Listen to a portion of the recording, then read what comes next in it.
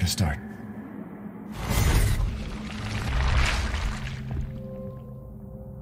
My name? It's Ethan. Ethan Winters. It's been three years since everything happened at the Baker house. I was looking for my wife, who disappeared. I got an email from her. She told me to come get her. And of course, that's how I ended up in the middle of nowhere, Louisiana. Found Mia being held captive in a dark basement. She wasn't thinking right. She attacked me like some kind of wild animal. Later on, I found out that she was infected by a special kind of mold.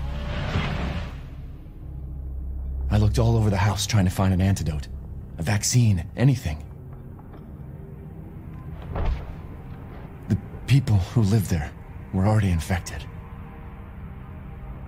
What was left of them wasn't human. The source of the infection was a bioweapon that looked like a little girl. Her name was Evelyn.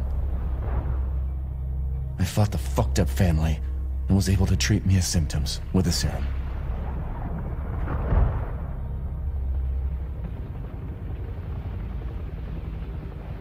Then Chris Redfield and his soldier buddies showed up and saved the both of us.